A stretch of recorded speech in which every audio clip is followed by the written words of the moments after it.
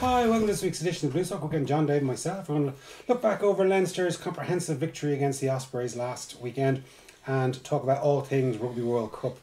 So, boys, I suppose the biggest news of the day, obviously, is the cancellation of the the two The the two big games uh, from Yokohama Stadium uh, this weekend. Indeed. Um, if it the two games that it is that are definitely being cancelled, I don't think anybody's crying too much. Possibly apart from the supporters who get forgotten in this. I Lots of people pay- Dave's, Dave's mate's very pissed off. Uh, Sergio Sergio. Parisse, Well, yeah. there you go. Lo- I feel sorry for him. That's how bad things are. Lots of people forget the uh, forget the supporters and the fact that they've gone at great expense out to Japan and now they have tickets for a game which yeah they get their money back but they're still in Japan for They won't get their airfare. They won't get their airfare, they won't get their hotels, they won't get their booze money, they won't get all of that other stuff. Uh, and as you say, Ghiraldini and Sergio Sergio Parisse could have been on 143 caps, and he's only on 142. um, and Ghiraldini wanted to finish his career allegedly, if that tweet has uh, is true. He wanted, he was going to get off the bench for 20 minutes to, to put a cap on his career, which would have been nice for him. Uh, but you know, other than that. Well, That game has nothing riding on it because the All Blacks, For sure. with both hands tied behind their back, asleep with twenty points on them, would still Yeah. be. Yeah, th- th- that's the- fair enough, but you still have they still have to do that, Yeah, and that's the whole point of the competition. Like, I mean, you could. I If agree. you said that if you were to say that Team A would always beat Team B, then what's the point in having, having a a competition. Like I'm in a yeah. prediction competition. Yeah, But will I be, cha- you know, the Europe, the world champion at the end of it? No, just because I'm picking in my mind and by the winning score. You know what I mean? Like, Yeah. it's, you got to play these matches. But like the other match, the the France, uh, England. the France England, That actually like, had something right on it it. did, yeah, and like you know, there's obviously the quarterfinal and semi-final permutations of who hmm the winner and runner-up of that particular pool would play. Yeah, well, it could. Uh, England might actually enjoy losing that one. They get to play Wales and they avoid the All Blacks until the final. Uh, Then on the other hand, they have to play Wales, who uh, you know are better than them at the moment. well, we'll see. Allegedly. Um, Well, currently France are in that spot, aren't they? Yeah, and so it's uh, as it stands, it's going to be uh, England, Australia, and Wales, France. So you know, unless Wales, no, actually, if Wales is called off, it's, they still top the group. I they think, just need two I, points I don't top think the that group. match is going to be called off. No, but if it is, uh, they they only need a draw, and they can't be caught at the top Which of the game group. is this? Wales and Yeah, Ur- no, Uruguay. I don't think that one's in, in, in danger. I mean, it's No. a, it's an absolute sham- shambles, and it makes the sport look small. But can I just ask a question, lads? There's two indoor stadiums, and you know, there's only eight stadiums Mhm. been used. Two of them are indoors. Like I look, I'm sure there's all sorts of logistics, and I read a very uninspiring statement from some World Rugby. organizer from World Rugby. Like he was talking about, oh, it's important that we have the same standard, but like there's only going to be two matches affected, possibly, right? Maybe a third, but certainly two. Could they not have? Like they've got these high speed trains. Get ev- get all the players, technical staff, and so on onto the train and get them down. They know Play now. behind closed like doors. today's match, like today's Thursday, right? The match isn't going to be played till Saturday, so they have two days to, probably more, to make that arrangement. Or in case of Scotland, Sunday. Sunday, exactly. Um, well, But you see, it's, haven't it's been not, it's not yet. even two or three days yet. Japan were awarded the World Cup in 2009. You know, they've had 10 years to come up with a contingency plan. It's not like they never get this weather there. Mm. And it's not like they never get this weather at this time of year. World's Rugby sort of view was, well, if there was 12 matches cancelled, what would we do? Well, we have to have a, a plan in place that we just give nil all draws and two points each. But that's not the point. There's only two matches affected currently. So surely that they can, you know, you can, you have to be flexible enough that your plan. I understand if there's a, every every match is going to be affected by, let's say, a massive earthquake that ripped the country asunder. But like the storm is hitting one particular part of a very long country. Get them on a train and bring them down to the indoor stadium in, in Kobe. It's two and a half hours away. Okay. But uh, y- yes, absolutely, and, and but they should have had a plan, a contingency. They that wasn't part of their plan. Their plan was, oh, if the, we we cancel it and we give everyone two points. The fact of the matter is now that the result of this World Cup, not just the pools or whatever, the result of this World Cup is, is going to be affected by what, Yeah, what's big, big happening. beside Ireland's Yeah. victory. Yeah, there will be. There will be. because, I mean, the, the thing is, did, would we have got out of our pool if Scotland had been to play? Well, I mean, that, but that's true. There will be an asterisk behind whoever, beside whoever wins it, because we now know for certain that the result will be affected by it. Because we, that's that's. I mean, Italy, uh, Italy are going out on the couch rather than on the field. uh, New Zealand are going through. That's fair enough. But then there, you've got the, the playoff combinations between, as you say, France and England, and you've got the situation in our group. So these are all affected by this. And if you want to put on your tinfoil hat, it is beneficial to Japan, right? hmm Now, I'm not saying that they were any hand or part in, you know, making a decision, the Japanese rugby union, but the fact is that if if they decide to cancel that game, they get a free pass in, Well, yeah, Yeah, that's, that's that's true. The only thing is that I don't think and they top the group and get a better Oh, yeah. placement in the. The only thing is that I don't think World Rugby have the competency to organise conspiracy. I mean, a good conspiracy, you do actually have to be competent to do it, and I don't think World Rugby are competent enough to it to do it. I mean, this, this, I mean, we've seen after the first weekend, the chief executive deleted his Twitter account after the Australia Fiji match. Why? Uh, I don't know because you can never shut him up talking about how great World Rugby are and how great the disciplinary processes are and how great the tackle framework was, and then all of a sudden he disappears. He was anticipating a pasting. I think he was. And then Agustín Pichot has basically disappeared from Twitter. He makes the odd tweet in Spanish before uh, Argentinian matches. But normally, and again, a, a- an inveterate tw- tweeter. So, I mean, something's gone When John wrong. Klein scores a hat trick, he'd be really pissed off. I know, yeah. that, that would be. Um, I think. I, I don't think he'd be the only one. um, but yeah, I mean, what, what's happened is that you know, bad planning is has allowed have an effect on the outcome of the World Cup. I mean, that's Yeah, you could say that. Uh, the other thing is, is though there is there were so many permutations with the weather. Like it's not a thing. Oh, we know this is coming for weeks. Like that storm has shifted around in where it was going to hit several times in the last week. Like But- but at one stage, No, there fair were enough. ver- John, but you various have to different be games. Flexible. And right, they know now either on Wednesday, like either on Wednesday or Thursday. They knew. I mean, those Yeah. rumors were flying around yesterday afternoon. That's right. the day before. So, so they knew at that point. There's two matches affected. I can understand if, if if there was every match was affected this weekend, and you say, well, what can we do? But when there's two in one particular city in Tokyo, Bus them down the uh, road. Okay. Yokohama. Like it's only those two, and surely to be, you know, you need to be lean and flexible. That you can say, well, let's just implement the, this fix and move the, the, the competition down to the indoor stadium or away from where there's danger. And if people say, well, there's thousand pick tickets sold for the match, do you know what? You all get a refund. We move it down to an indoor stadium and we play behind closed doors. So But there's see, no there- kind of oh, There's "Oh, you get a nothing in ticket, I don't get a that. There's nothing in that for World Rugby because what what it's all about for them is this is their once once every four oh, year It cash cow. has to be.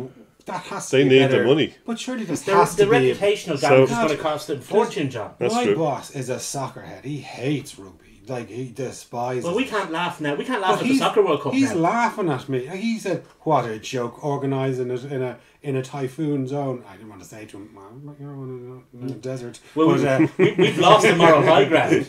Um, but I mean, the reputational damage to World Cup is to, to, to World Rugby is, is, is significant, and it's a fact. I mean, England versus France is a huge match.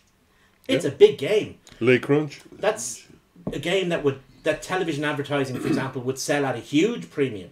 So that none of that money's going to come in now. exactly. Yeah. Um, all the licensing, all that stuff, that's all gone. I mean, Japan could the, the host nation could lose a home game. That's going to have a significant knock on. So, I mean, it, it's it's not like it's not like they're going to escape unscathed. Apart from you know uh, a bit of damage to their reputation. Reputational damage in big business costs money. That's true. You know, you only have to ask Audi. Very Volkswagen was in a Volkswagen Yeah. with the diesel. diesel. Yeah, yeah. Yeah. I mean, it- that's that's a huge thing. So, if you give, and this goes for, I mean, the two biggest sporting events this year are the World Athletics Championship, ruined by the weather, and the World Rugby, ruined by the weather. Well, Well, it's not not ruined yet. Uh, affected by the weather, and then you've got the World Cup next year, which will be affected seriously by the weather. If you give tournaments for reasons other than sports, you know, But like, I mean, they have the Formula One Grand Prix down there. Do you know what I mm-hmm. mean? Like, it's been in Japan for a long time, fifty they years. don't hold them during typhoon They do. season. It's on do this they? weekend. Yeah. Is it? Yeah. It won't And- be on now. Well, they're considering cancelling qualifying on Saturday, but it. i- Well, the point is, it's still on down there. Do you know what I mean? Formula One or the I don't even know when the but- Formula One season Well, is I know it's anymore. all once Eddie Irvine left, that was me gone. but like you know, what I mean is that Formula One is such a fly, not a fly by night. That's the wrong word, but such a a, a commercial organisation that they don't care. They'll just well, we're going to take your Grand Prix and move it to another city where pay us more money or whatever. Yeah, yeah. Right, do you know what I mean? So like, but they have it in Japan at this time of year, where they could easily put it in. Doesn't matter whether it's in Somewhere March or whether Yeah. it's in in September. I thought it always used to be the last Grand Prix of the year, didn't it? Japanese Grand Did I remember Yeah. uh, Senna driving off um, Hill? Was it? I Not remember- Senna, sorry, Schumacher driving Wasn't it, Hill wasn't it the Japanese Grand Prix that uh, Eddie Eddie Irvine and Ayrton Senna had their little They set did, to when did indeed, uh, yeah. Eddie Irvine They unlapped unlapped himself. Mm. Um, but uh, yeah, so I mean, it's it's Ninety four was it? Ninety three. might have been it was it, it was whenever Jordan had those terrible Yamaha engines, wasn't it? Or was it the next year? Anyway, And those matter. terrible yellow jackets. Uh, something wrong. isn't it? um, Nothing wrong with yellow in general, just those jackets were shit. um, this is Yours actually an orange T-shirt. yours Just looks yellow on the screen. Buzzing Hornets, wasn't it? But the, but the thing is, I mean, it it, it, it has asterisked the World Cup. Um, now, We'll at see. the end of the day, I mean, we could these could be the only two games we lose in terms of the tournament. Scotland and But could you imagine if this was a month later, and it was the weekend of the World Cup final? Like, do you know what I mean? Like the. Not saying it's the biggest. I don't think they sporting event could make the that a world. draw. I don't think they could make that a But what would they do? Like, I mean, if there's a hurricane have to do coming, something. if there's a hurricane coming up, up into Yokohama, and there's seventy thousand people going to be there, but it's the most prestigious rugby match that's played this year. you know the worst thing about this, the very worst thing, worse than anything else to do with this, is that they proved uh, Christopher right. Because there's nowhere you can run waiting for a hurricane. Oh dear. Okay. I, I, But anyway, moving to matters on the pitch, right? Shudder. There was a couple of matches since we last spoke. Obviously, Ireland's great 35 0 victory against the Ruskies. Um, Wondrous. we made 11 changes though, so like it got a lot of, uh, it did get a lot of criticism for the performance, but we did make 11 changes. Like making 11 changes to any team and against any opposition, you're still not going to have everything running smoothly. Look, we got our bonus point. We got in under the radar, and if we can beat Samoa on Saturday, it'll be almost job done. If we can get a bonus point against them, it will be job done. Um, you know, before the tournament, we were thinking we were going to cruise through this pool, and Scotland was the hardest game. When it blitzed Scotland, and all of a sudden, Japan is the hardest game, and we're starting to look uh, like we have feet of clay. So, you know, it's it's dampened down expectations among supporters for sure, uh, which is no bad thing. Um, but yeah, it wasn't exactly would like getting a bonus point so late against Russia. Mm. I mean, you saw how, how they fell apart against Scotland. Now I know they were short turnaround. It's their last game. They're out on their feet and they're amateurs and they're running out of fitness. But like the last try or two Scotland scored, they were the Russians were just walking around the defence. Uh, why couldn't we have caught them on that day and s- racked up a big score? I think I'd rather be in our position than Scotland's position. Well, that's though. true. That's very true. Yeah. Yeah, I mean, there's, there's there's two ways. I mean, there's obviously there's there's two sides to the story in a way. Um, obviously, at the end of the, the day, all that matters is the bonus point. The big killer for us Um, is the Japan getting that bonus but, uh, point against Samoa. We'll Just, we, we, we can't worry about Japan's performance against Samoa. We can worry about is our own performance against Scotland, hmm against uh, Russia. Russia shouldn't have Russia shouldn't have been in the tournament. Remember, Yeah.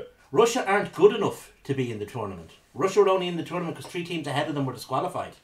Yep. That's how bad Russia are. So us struggling to get a bonus point of them is not a good sign that we've that we're bouncing back from the Japanese defeat. Nope.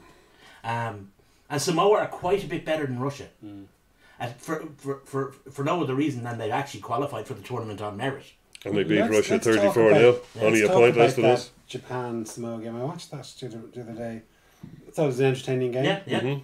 A lot of the games have been entertaining, Yeah. no matter how Mm. one-sided the scoreline has been. The rugby has been good. But and the- even even Namibia put it like you know they put thirty minutes up against New Zealand, right? yeah, yeah. Like it's not that long ago. I'm, I'm talking twenty years ago when if Ireland put up a good 30, 40 minute performance against New Zealand, We'd be dancing in the streets. well, you'd be kind of you know You'd be pleased. you'd be kind of going well. We didn't let ourselves down Yeah. for the first half. Yeah. You know, but anyway, um, that's Samoa. Like, it's, it's hard to kind of throw, it's hard to throw accusations, but it just didn't look right. Him taking that scrum when the clock in the red, when nothing could could affect the scoreline. It couldn't. They, they weren't going to get a bonus point. They weren't going to affect the scoreline, except they've kind of thrown a spanner in the work for the other countries in the pool. Well, you can't really blame Samoa for that now. In fairness, it's not taking up a to scrum them. on their own line when the clock's in the red It's- after the, the previous three minutes before they were shunted back on on their own put in. It's not up to them to give a shit about us though, for any Yeah, they- reason. they- uh, it's, it's up No, to, no, I understand that. I understand that. I'm merely saying, no matter, I've played on many a crap team, and so that was a bit of a slow burner. That one. and at some point you say, let's get off the pitch here.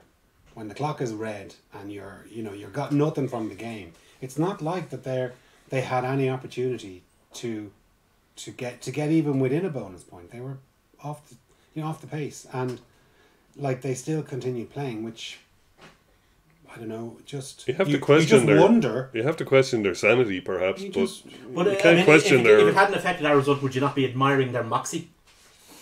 that's Well, what I was see, about to say. You can't question. But the thing is, right, if you're playing in a regular competition, that's okay. But when it's in a kind of a tournament like this, where there's small pools, where the matches are all around, you know, in pro- close proximity to the you know to the next matches the next day or whatever, and it's so tight. It's not like over a league where there's maybe twenty matches over the season that all these things even themselves out.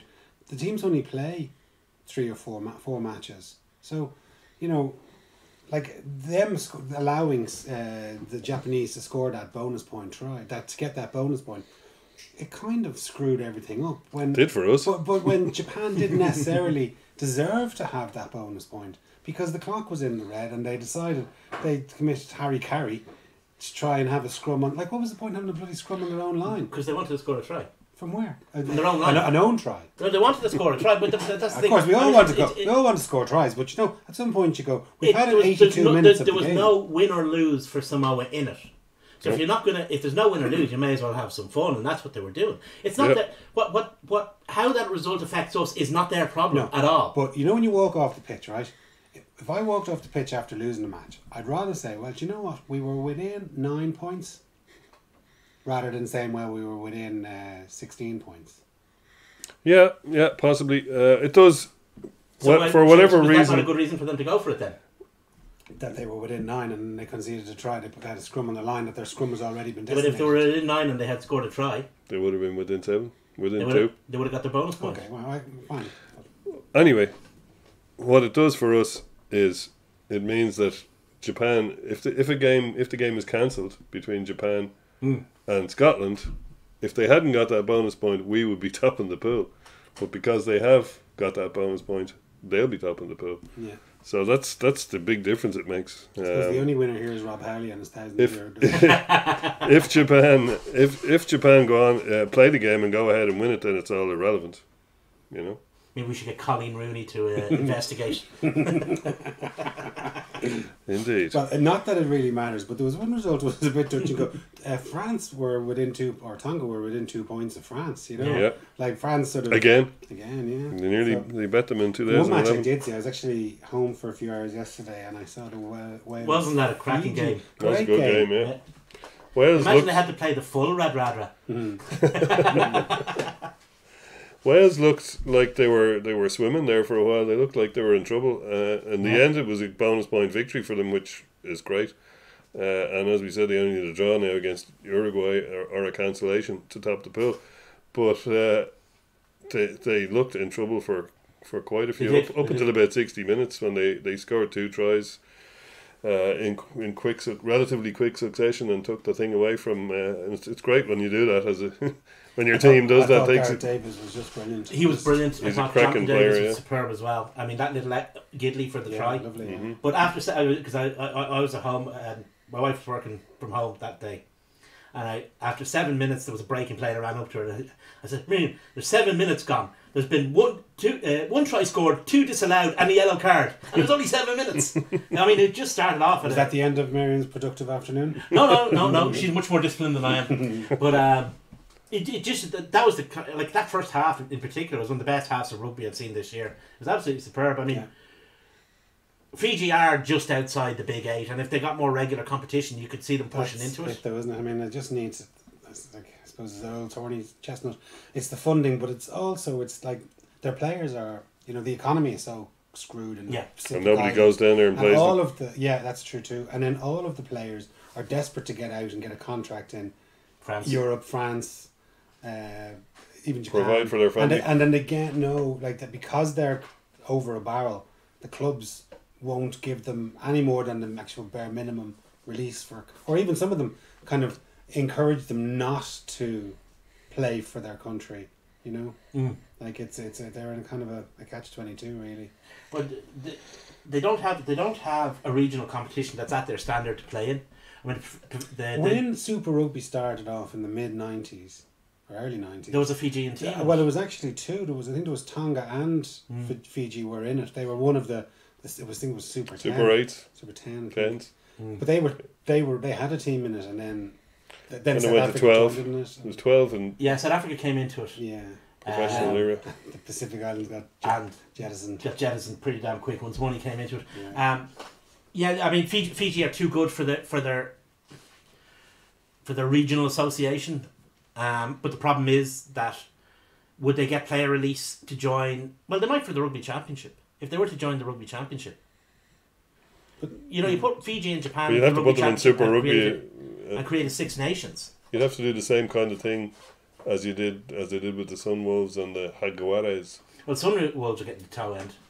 Um, It uh, is this there's no kind need for it anymore. it is the World this Cup's over. Co- co- cozy cartel within rugby. Isn't There is a- like there is- I mean, very still- similar as They're well. still the very much the old international Mm. board kind of thing. Um, but the question, the problem is, how do you, how do you reconcile that with the professional game? So that eh, I mean, we, the club game and the professional game, and the international game have to find a way to work together and live together. Anything that does down one and promotes the other isn't going to work because it'll have done down one and promoted the other. I mean, it, it, it's a tricky thing. I mean, Didn't World Rugby not want to do something? no, like they wanted to do the complete opposite. They- They wanted to ring fence the big eight, if you Mm. like. Um, Fiji would have no more tours or no more. No more games, and that would actually destroy what they were planning because countries like that would get no more international tours from or and not be invited to tour the big the big nations. All the stuff that Pichot had gone on about about the five years for the thing. It would have gone out the window because if you weren't going to be playing top class international rugby anyway, Mm-hmm. what does it matter if you have to wait five years to qualify in order to play top class international rugby? so Yeah, well, I suppose it's just it's uh, it's unfortunate anyway. But, but one just one thing. I mean, people have been saying it's it, it, it it's it's a crap World Cup, and the last couple of days have kind of proved that you know they could be right. But the performances of the smaller teams have been heartening. The quality of rugby they play. Okay, they don't have the physical capabilities or the fitness and the professionalism of the big teams, but the quality of rugby that's been played is of a very very high standard. Yeah. Uruguay played. Uruguay beat Fiji. For all we're talking about Fiji, Uruguay Yeah. beat Fiji. Now Fiji didn't take them seriously enough. That was their own fault. But Uruguay still went had to beat them and did. Um, Namibia, as you say, have played well. Tonga came within a couple of points of France, and we've seen good performances across Well, you the think World Japan Even- beating us, like, and then even like look how poor say Argentina have been, Yeah. which would be, you know, one of the I mean, one of the big eight. Well, they were in the semi They were unlucky enough Well, against France, in They got to the semi final last year. You know, they, they and they, you know, it wasn't. I think they came third in 07 as well. They So did. like they've got a good pedigree, far better Mm-hmm. than our World Cup pedigree. Yeah, oh, absolutely. I, I mean, and even we were talking there about Russia not, you know, deserving on merit to be in the competition, which is maybe true. But that doesn't mean that they play bad rugby.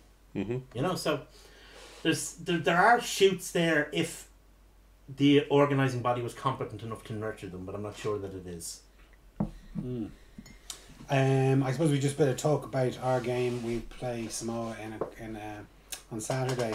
Uh, the team was announced today. They kind of Yeah. I think made twelve changes to Yeah. it. Um, Taking it very seriously now. Yeah. It has to yeah, be how's the said. look of a first choice team to Which- a certain extent? You know, we've got Johnny surprised Rob Sexton there, Kearney crucially. didn't get the nod. Maybe he's still injured. They were saying that Rob and uh, Rhys Ruddock weren't moving freely, Okay. whatever that means. Mhm. I think it's one of those things like Japan where Johnny Sexton, if that was a World Cup final, Johnny Sexton would have played in it. Yeah. But because it was a pool game against Japan, Jo- in fairness to Joe Schmidt, he went fairly full bore against Japan, but he crucially didn't play Sexton.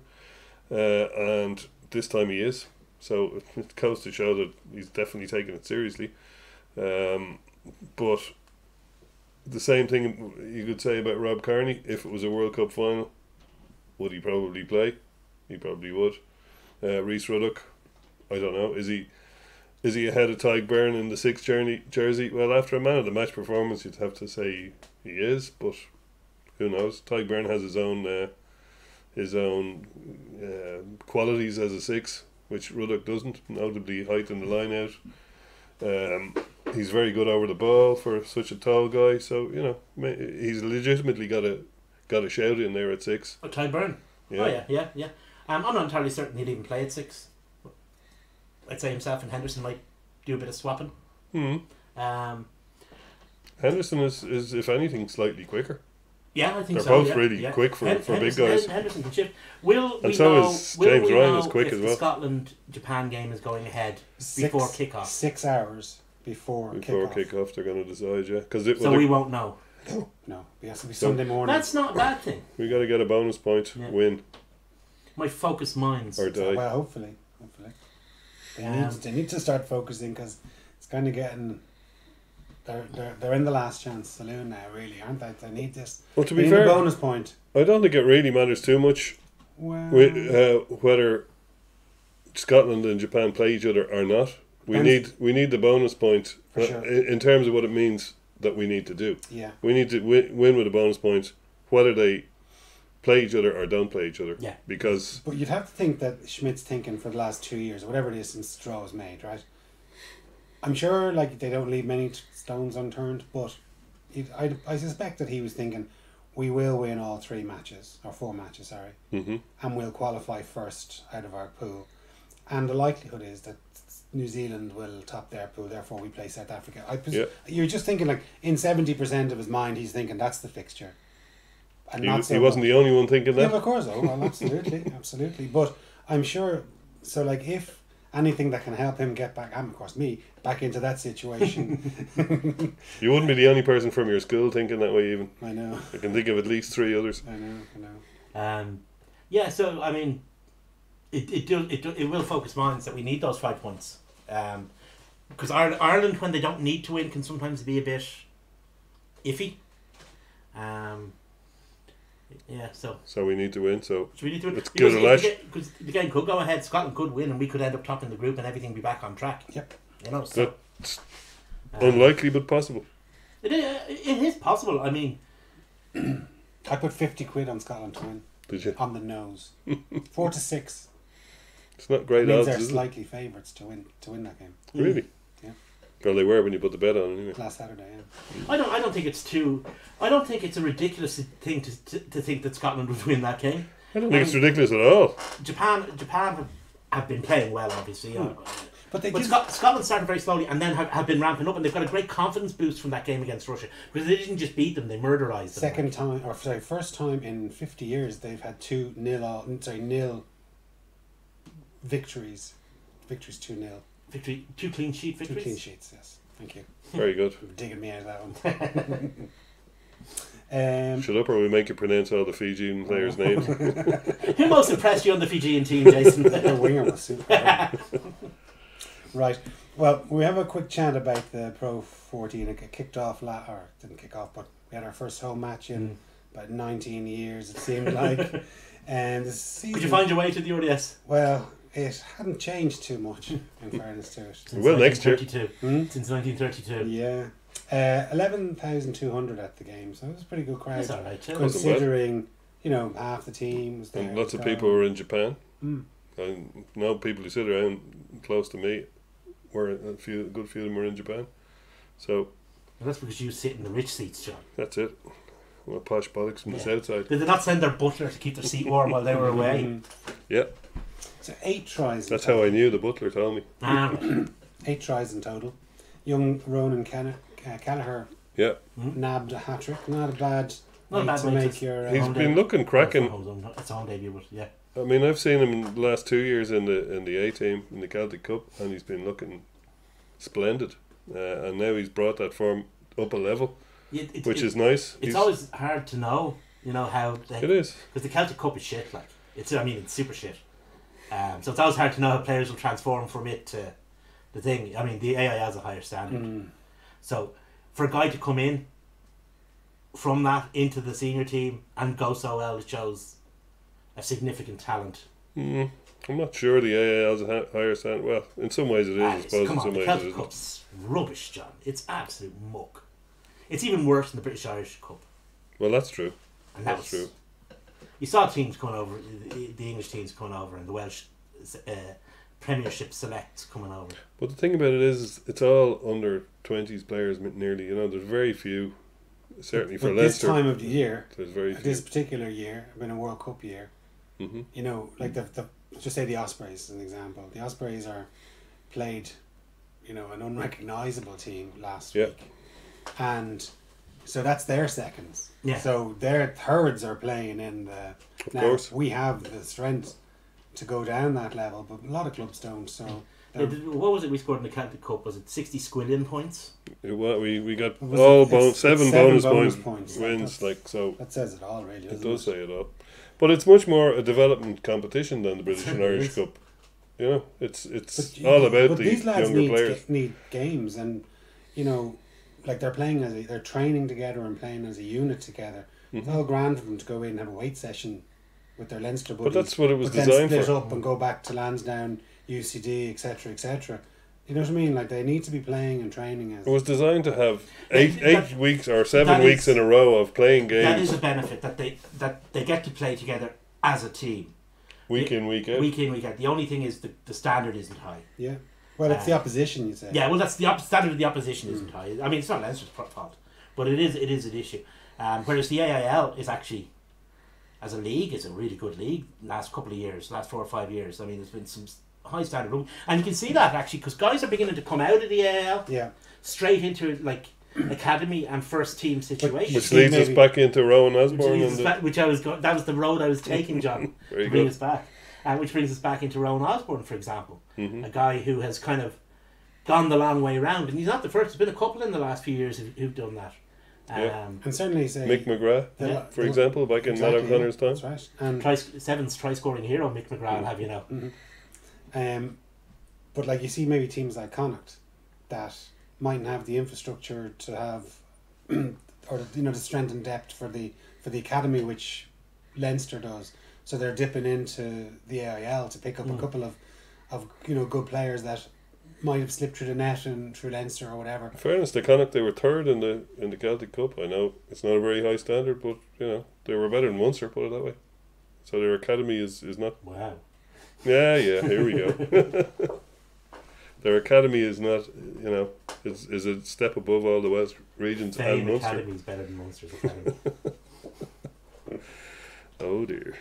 Um, well, I suppose we, we were talking about um, Ke- Ronan Kelleher. Yeah. I just Yeah. wonder. I wonder if, like, uh, Tracy's his stars are starting to really fall. You know, and you think he was on the bench, say, behind Cronin for most of our European Cup runs the last couple of seasons. well, he had begun to get displaced last year. Byrne Mm, was Byrne ahead of him. Yeah. Brian Brian Byrne's. So, um, I've a, I've a feeling that Brian Byrne's carrying some kind of a knock or something. Um, just from what from stuff I've heard down down in, in, in, in Carlow. So I'm wondering if he is, and if that's the case, you know, you might see a very different. Uh, there'd be a real push for that second spot when Cronin gets back. Yeah. There's, there's a right crop of them though. There's like There's Dan Sheehan as well. Ronan Ronan Kelleher.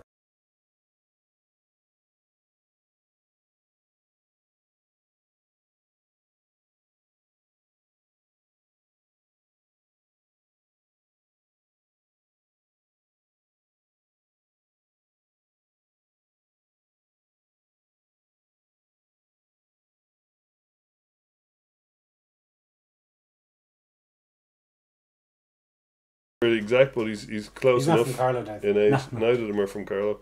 Although, I like the Byrne twins, they think they both went to Clongowes.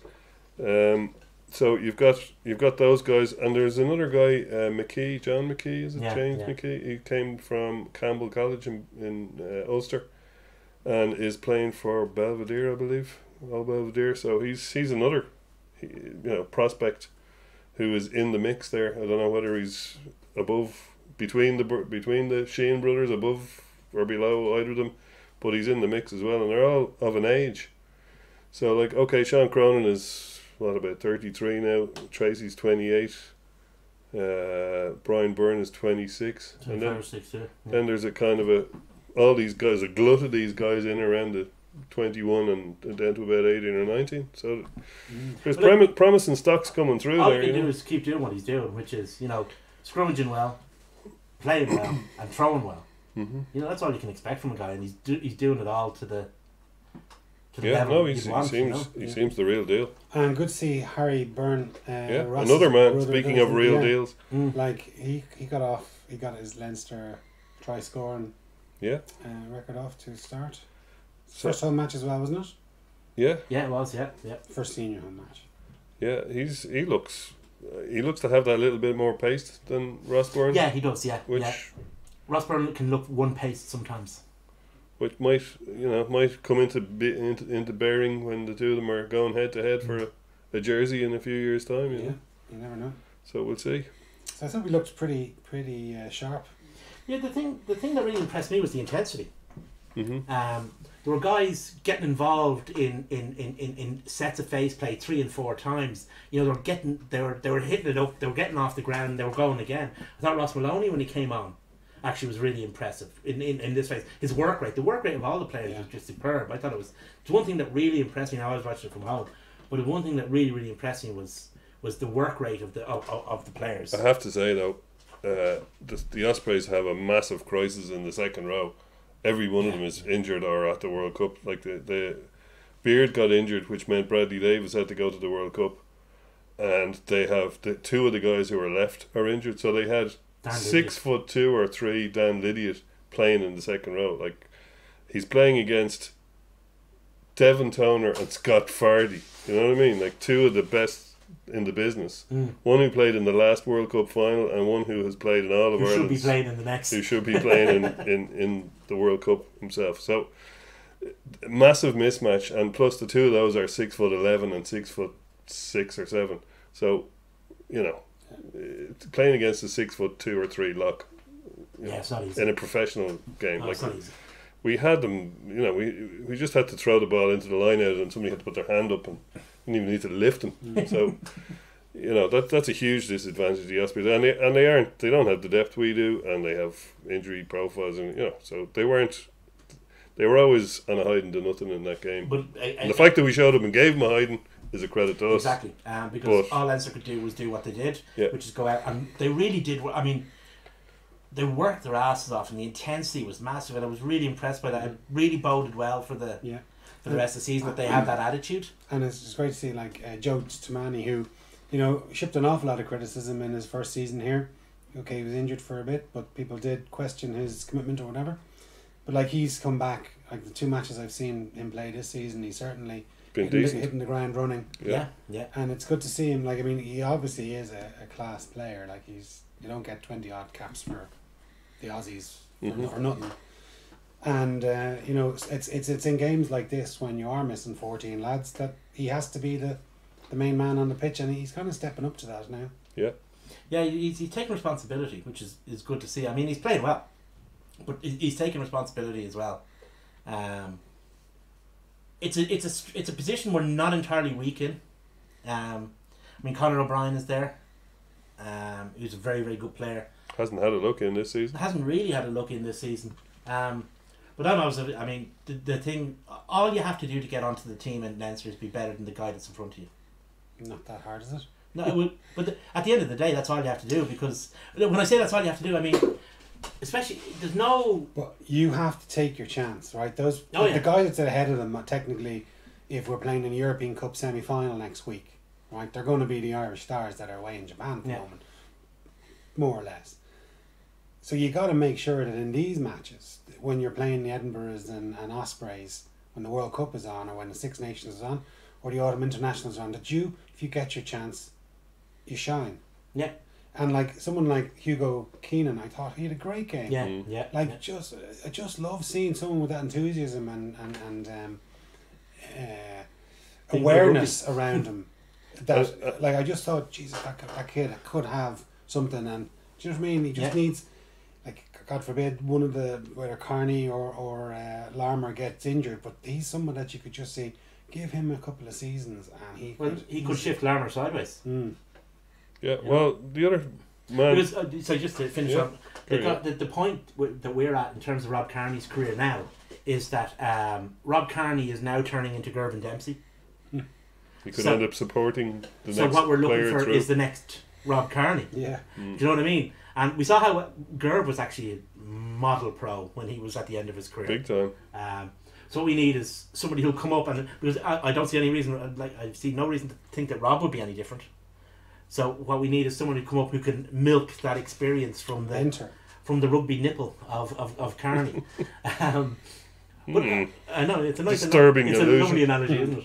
But um, so it, it could be Keenan, it could be Jimmy O'Brien, it could be any of the rest of them. But Keenan's the guy in position. He's and the thing is, when you get that chance, you have to seize it, Absolutely. and that's what he's done in the games thus Mm. far. Yeah, um, the the other man that hasn't got a look in, of course, as well as Conor O'Brien, is Ronan Gallagher's brother Cian, who Mm. came back from um, came back from Connacht, uh, two years away in Connacht, I think, Mm. who where he did reasonably well without setting the world on fire. Yeah, I would have said that exactly. He didn't set the world on fire down there. Yeah, so where's he getting a look in, and why you know, like he's the only signing we made really. Mm-hmm. Yeah, so. Is he? You know what's It's- going on there? I what- what- haven't a what's, clue. what is, going on is, is is a is he fit and b is he better than the guys who are Well, he was he. If you read the uh, water boy uh, w- w- rules, usually a water boy is going to start next week, especially when they're coming back from injury. Now, I don't know if he was injured or not, but he was is all a water water- boy last The week. thing is, all a and water boy has to be able to do is run in a straight line. that's very true. So we we like to see him anyway. We like to see him given a go. Didn't get picked. Didn't get picked at all. This didn't even get in the bench. Yeah. So He might, he might like uh, the thing is he might he mightn't even be fit. We don't. We're in a we're in a time now, for whatever reason, that just because Leinster don't say a player is injured doesn't mean he isn't injured. of course, Players now have to give consent for each and every injury they have to be publicised. If they don't give consent, then Leinster can't say they're injured. that's true. And also, they might have uh, tactical Well, reasons strategic for reasons for for, well, for not saying that they're a whole injured. bunch of reasons. Yeah. So I'm So sure he's a bit disgruntled though if he's made the move, decided to move back to Dublin. Well, I know they weren't impressed when he left in the first place. Okay. You know, But Well, I, I, I, I, doubt, I doubt they re-signed him just to prove a point. no, No, but Uh, like I'm sure he's kind of going. Well, things aren't really working out here. Like we It'd be a bit early for him to be doing that. for sure, for sure. But let's say he is fit, and we've played three matches, and the the, the two fullbacks that are ahead of him are in the Irish squad, whether it's Lar- Larmour or or Rob Kearney, and he's still not even making the bench. Let's presume he's fit. I'm sure he's kind of going. What did I give up a starting position, or certainly match day twenty three position in Connacht for? So I can't even get on the bench in the on, on our seconds team when we play when fourteen of the firsts are away in Japan. Well, all he has to do is be better than the guys in front of him. Yeah, but sometimes I mean- sometimes Dave, your face doesn't fit into a team. I don't. And it doesn't- sometimes it's nothing to do. You could you could be the best player at training. Yeah, no, no, I, And- I agree. Sometimes it doesn't, but from what we know of know, these coaches, Darren Cave. Uh, what we know of these situation. coaches, do you think that they're Situation. No, I don't. Yeah. But I'm just saying that sometimes they might say, "Do you know I don't fancy him? I don't think he's great." That's just a like it's it's it's a a very subjective thing Oh, with a is. I mean, coach. you know, you could, you could even have one coach thinks he's great and another coach doesn't. Mm. So, um, it, it could be anything. But we, we don't know. The thing is, we don't know. We don't all we know is that he hasn't. as been you say, selected for these it two is games. very early days. and it is very early. days. For all we know, they could be keeping him in reserve because they might think his particular standard or his particular what method of play is more suited to games against I don't know Scarlets or whoever, or that he might be they might be building up his fitness to a certain point. You, you don't know. You, you- any any kind of speculation based is just that speculation. Yeah. indeed. And we're Anyway. just quickly looking over some of the other results. Did anything else happen in the Pro 14 last week? No. Yes, it did. Quite a few things. Yeah. Okay. No, Uh, well, Glasgow still to get off the mark. They're even the, the Very big finalists last year. They were uh, beaten by Scarlets uh, last weekend at home.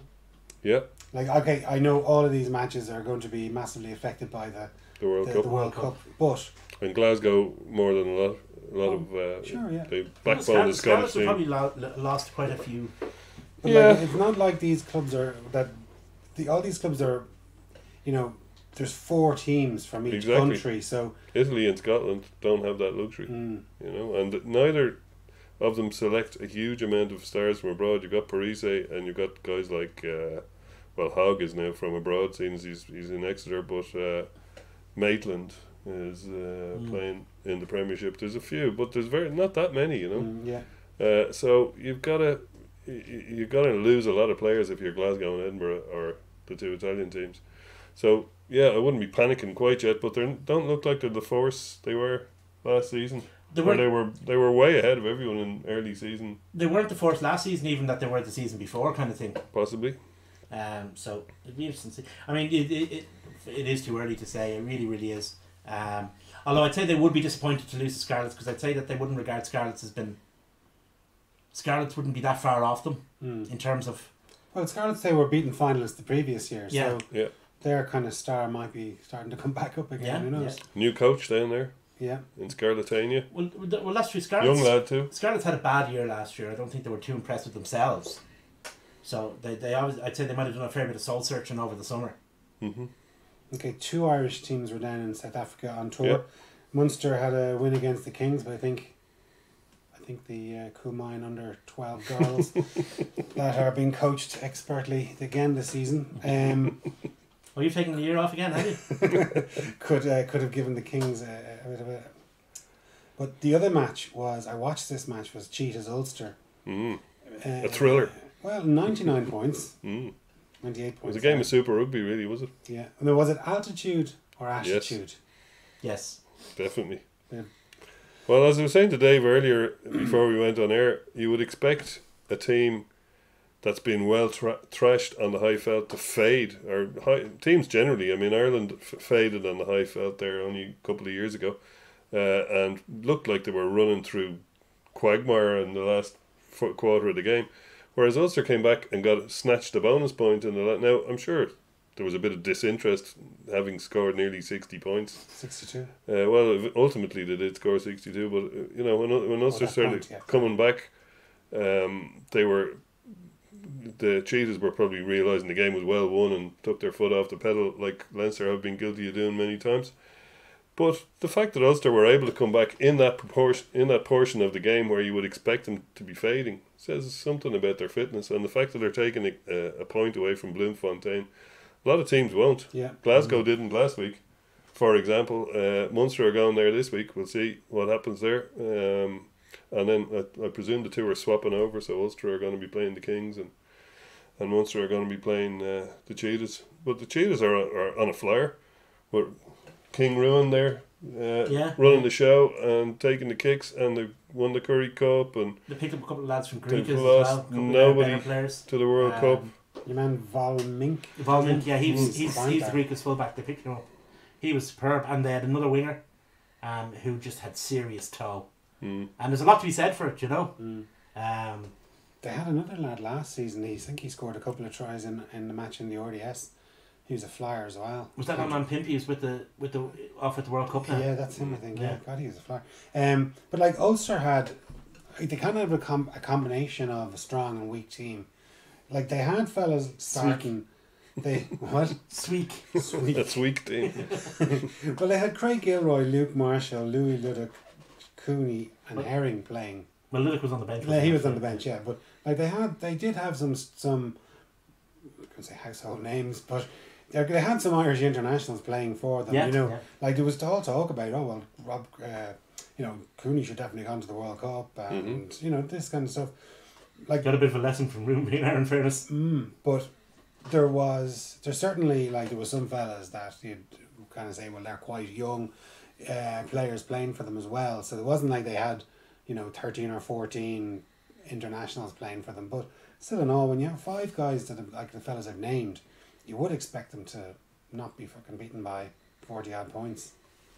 The, what they were. Cheetahs have to do is, is is is show, put in a few good performances in the Northern Hemisphere. Yeah, That's they have to win on the road. That's the big The one. year yeah. before last, they were super at home, almost unbeaten at home. hmm Um, it was when they went when they came north that, that things kind of fell apart. But they have a Currie Cup under the belt. They've made a few signings. Um, they might even make a few more before the World Cup is out. By the time when the World Cup ends, um, because there's one or two guys there who could be repurposed. They have a lot of seats to sell. They have a lot of seats to sell. Well, play they play at a huge Oh, I know, stadium. I know. Um, but they're getting. They, I mean, there, there was six thousand at that game. It just that it rattles around in that stadium. thing, yeah. Um, But it is it is their stadium. I mean, it's it's, it's the Free State Stadium. It's where they always played. So, um, As you said, Ulster Ulster uh, like the orange, but not the Free State. very confusing game for the Mm. Ulster people. for some Ulster people, Mm. love Orange, hate Free State. Well, there was one, or the other match, uh, final match was Connacht against Treviso. And Mhm. after our game against Treviso the previous week, where we thought, oh, this Treviso team looked pretty strong, they certainly put it up against us. We had to work very hard for our win over there. They kind of failed to deliver. They were beaten 41 to 6. It was in Galway. Connacht though, yeah. Yeah, I think I think Galway's Galway's actually a place that intimidates a lot of teams because you come in there and it's wild. Um, you've got the Atlantic just over the road. Won't be long. We'll be down there Oh, I know, I know, and it has intimidated Leinster as well. Yeah. And I mean, I- I- and it's a, and I mean this in a positive way. It's a hostile ground. You know, it's a hostile crowd in a, in a good way. Um, but it's not an easy place to go, and if you're not hundred percent on it, you're going to get done. Yeah. And and And they did. Treviso, who might be a bit wishy washy going away from home anyway at this stage of the season with so many players missing, weren't 100% on it or anywhere near it, and they got done. Absolutely. Yeah. So looking towards next week, we've named, or that we're, we're recording this so late that the t- The teams the have been actually named. been yeah. named. So it's uh, You see World Rugby? You see this? When we have a problem, we can move the day of the program. we can even change the time. That was because this was supposed to go at half six and it started at quarter to six, seven because because Jason was stuck on the M fifty. We can we have contingencies. Carry on. Yes, and we even moved all of our um, 50,000 supporters with us Yes, at yes, no yes. cost. All our and view- honoured their all tickets. Our, all our viewer moved with us, And his dog, and his dog. in fairness. The dog's not watching. This dog got more sense.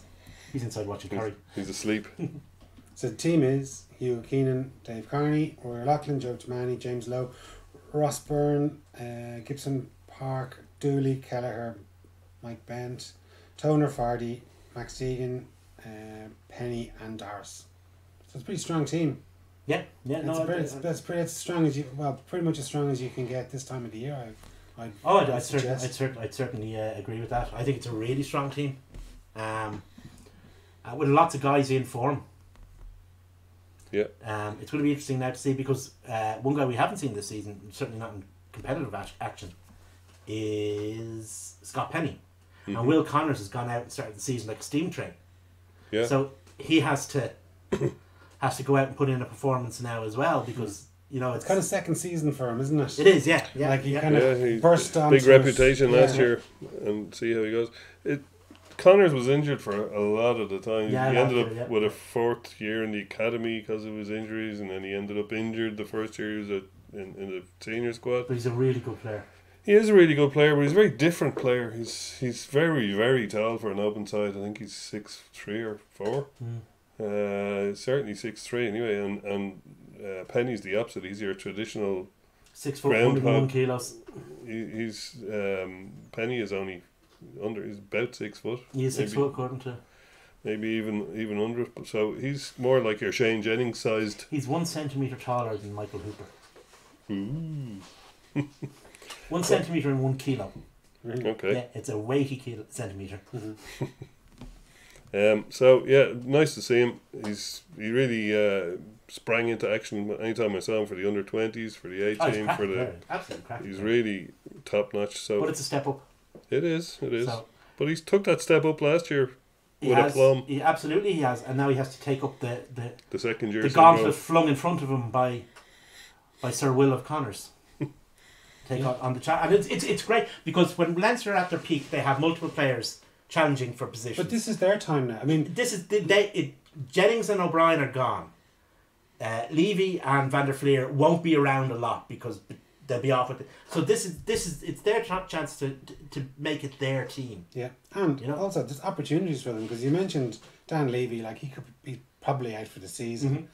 Mm-hmm. Um, you know, even Conan, like he broke his foot. He's after Mm-hmm. having surgery. I don't know how long the prognosis for that is, but I presume it's till the new year anyway. Yeah, they were talking. He'd be fortunate to be back for the Six Nations. I read somewhere. Okay, right. So that's even longer. It's five months. So, you know, like it's it's these guys' opportunity now to take a claim. Okay, we're not expecting them to be the next Sean O'Brien right now, But Sean O'Brien ten years ago was getting his foot in the door, and let's see these guys do the same. Oh yeah, absolutely. That, that's. I mean, there's there's opportunities right across the back row. Because as you say, with Conan injured, there's uh, opportunities uh, and Ruddock away, and you know, you've got opportunities at six, seven, and eight. Yeah, yeah. Um, You've got Doris, uh, who, who seems to the thing. He doesn't. He didn't come into the situation with the. re- I mean, Doris had it was a highly reputed uh, schools player, Hmm. but he didn't have the, the towering reputation that Max Deegan had. But one thing I noticed about Doris, do you know who he reminds me of more than any other player? He reminds me of Jamie Heaslip. Doing the right thing at Just the right time. quiet efficiency. Mm. Um, and he'll always do the right thing. He'll make the right choice. If he has hundred choices to make, he'll make ninety nine of them will be the right one. You know, he, he's very impressive. You that reckon way. that's what's getting him in ahead of Deegan? Oh yeah, yeah, yeah, yeah. Because Deegan is some player. Deegan's a w- He's a real highlights real he's, player. He's probably one of the best footballers in the entire squad. hmm The I think what the coaches are trying to do is work out how best to utilize that for the entire squad. You know, because I think that Dor- that Doris at number eight knits everything together and ties everything together the way that he's abused to. And I think that he's Maybe Deegan might be more versatile though as well. he might be more. He it might be it might be that Doris has a long turns out to be the long term Leinster number eight. A couple of years younger though, isn't he, Doris? I think Than so one or Deegan. two. Yeah, I think. But Two. Deegan will be the guy I reckon who'll bench during the European matches because he has that versatility. Also, he's two years. He's two years down the Yeah, track. I would yeah. say experience. He was on that team with um, James Ryan and that beat the All beat the yeah, shouldn't he win? Baby Player of? Blacks. He did in Yeah, that tournament, In that I tournament, think. yeah. So you Oh no, he's. He, I mean, Max Six, Deegan's. was this? sky- the, Was like sixteen. sixteen. the sky is the yeah. limit, but I reckon I. It's it's going to be interesting to see how they work out how to best utilize him, because he's so good he can play anywhere. He could probably make a decent fist to seven. Mm, he's quite tall again, Yeah, but yeah, but he's very athletic. I mean, he, and, and gymnastic. Mm. Yeah, and I mean that in the sense of being able. Yes, he is tall, but he can get down low. Yeah. There's a lot. It seems to be a lot of that now in the game. Like it'd be unheard of to have somebody like Tadhg Beirne, uh, jackaling on a Yeah. ball. Somebody that height, jackaling on a ball, even five years ago, it would have been what? Why would you waste a guy? You know, doing that when you've got some groundhog seven guy who can do it, you know, or a hooker or whoever. Now it seems to be whoever's there first and can do the job is, is doing it. You know, it's it's like everything in the game. It's like we uh, James Ryan and, and Iain Henderson now are, are two pacey second rows that can put it about. They can carry. They can tackle. They It's can. supposed to be a game for everyone, lads. What's gone wrong with yeah, it? it's, they're all doing everything now. You know. Don't worry, there's still plenty of little fat lads. Good. so, like, obviously, um, Edinburgh also unbeaten in their opening couple of games, so they're going to put it up to us as well. Like, Indeed. they, you know, they'll have that courier from Leicester Yeah. Well, we them. might uh, find that when when it was announced that the pools or the groups or the conferences that's the word we're changing uh, this season, we were kind of going, oh no, we're getting Glasgow instead of Edinburgh. We might at the end of the season be going, hold on a minute, that wasn't Might such a the great. That was such a great swap after all. Or, you know, or Edinburgh that was wasn't going the, well last year, and then the wheels fell off the wagon. yeah Um, right at the very end of the right at the very end. They got to the quarter final of Europe, didn't they? They were beaten by Munster, Munster. on a Mhm. very controversial call. Was it Tadhg Beirne? Little shoulder charge? Yeah, Mm. yeah. Oh, Um, sorry, sorry. He went down like a, the, the proverbial thunder breaks. there was, uh, let's just leave it as a controversial call. um, and that kind of that kind of knocked the wheels off the wagon. I think cheap Mexican horror was the thing you were looking for. wasn't it? Um, but that that that that, that did uh, unseat their season. Um, and I think Cockerill has put it up to them not to let that happen this year. big time. They s- like as John was saying about Glasgow, they've lost a lot of players because Scotland only has two teams, um, etc. etc. But there were a lot of players, good players left behind. Uh, Duhan van der Merwe is one of the most feared finishers in the Pro 14. He's got great pace, he's got huge power. Not brilliant going backwards, but then that's every Edinburgh winger ever. Um, they've, They've got, got the Dick Cockbret kind of yeah, well, yeah, yeah. factor. They've got uh, Nic Groom and Jacob van der Walt at halfback, good players, and Mark Mark Bennett at twelve. They've good players there. 13, isn't he? He was supposed to be yeah. the next Brian O'Driscoll. Actually, there's loads of next Brian O'Driscolls. And he's supposed to be still better than Brian O'Driscoll in his prime. Yeah, you can, you can go down. Why is he not at the World Cup? You can Cup? go down job centre. I and ask. Five Brian O'Driscolls for a tenner. Uh, Five next Brian O'Driscolls for a tenner. Um, I don't know, uh, but Edinburgh are a decent side. I don't think they'd be strong enough. I don't think their pack will be strong enough. Not when you see the team that we put out. No, I don't think their pack will be strong enough. But when they get all their players back and they're they're motoring along and everything's going, I think they're going to cause. I think they're going to make the playoffs this year. Mm. I'd be We quite shall confident see. of that. We shall see. Alright, boys, as ever, thanks a million, and thank you very much for watching. If you do look at us on Facebook or Instagram or Twitter or what else is there? All the others. Uh, Pornhub. Pornhub. give, give us a like and a thumbs up. I don't think you want to be looking at Jason on that. Thank you very much. He has his own section.